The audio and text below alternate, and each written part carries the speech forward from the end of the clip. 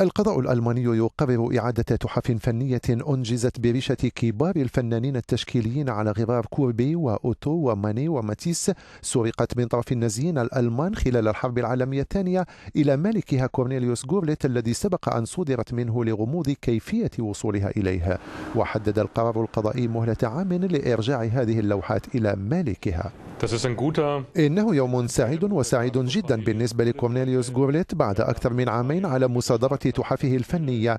كنا نشعر منذ البداية أن تلك المصادرة كانت غير معقولة وغير شرعية.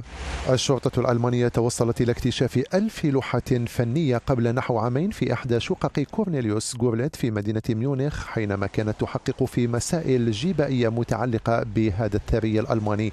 وسارعت الشرطة حينها إلى مصادرة هذه التحف ريثما تتحقق من كيفية وصولها إلى مالكها.